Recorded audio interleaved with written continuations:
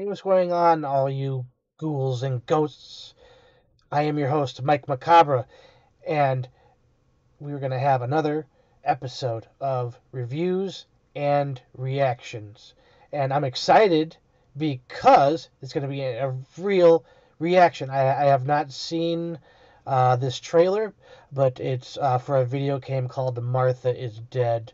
Uh, I know a tiny bit about it. It deals with the horrors of war in Italy in the 1940s, um, I do believe, and trying to blur the line between the horrors of war and otherworldly things.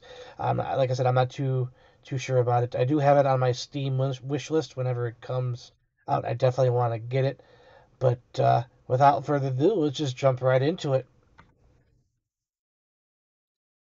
All right. Martha is dead. Children, inappropriate for you. Shouldn't be on this channel, anyways. It's for adults.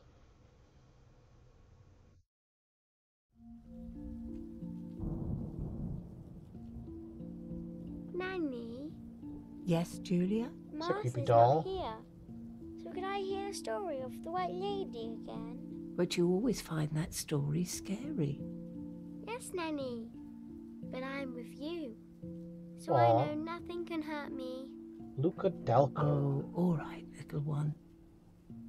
There was once a couple madly in love who would often stroll by a lake. It's creepy. But one day, in a fit of jealousy, the man drowned. Oh, drowned jeez. No! woman. Too much love brought also That- be so bad? This is something. Can't tell if that's a tree in the bottom of the lake. age, It's the cool, man though. confessed. So he was hanged in the middle of the very oh, same lake where he had killed his beloved. They searched everywhere, but the girl's body was never found. Since then, the spirit of the girl, known as the White Lady, wanders restlessly in search of relief from her eternal Ooh, suffering. that is so creepy cool.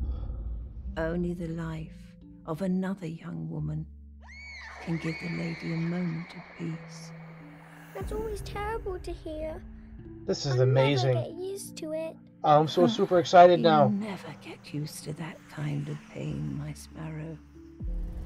My sparrow, huh? But those in great pain can attempt to evoke the lady through a dark ritual and magic of the tarot. As the lady knows their suffering all too well, she could show That's creepy. Oh. She may not. Martha is dead. Does it say when it's coming out? No, of course not. oh, that that was amazing. Uh, everything about that looked uh, looked looked absolutely amazing. Uh, but I'll talk about it in the uh, the review part. All right, so that was Martha is Dead official game trailer. Wow, uh, I am so very excited for this game. If it's anything like that trailer was, that that trailer was amazing. Had a, even had a jump scare. I wasn't expecting any jump scares. I don't know why I didn't, but I didn't. Uh, I definitely give five out of five skulls. Um, super excited. Um, it's going to be on Steam sometime fourth quarter 2021, I do believe. So set your watches, set your calendars, or mark your ta- calendars. Um, yeah, uh, as far as uh, just even a regular game goes, whether or not it's horror or not, it, that looked pretty amazing. I love the art style. I love the um, the storytelling aspect of the little little child. You know, it's kind of funny that you know we like the Brothers Grimm out of Germany.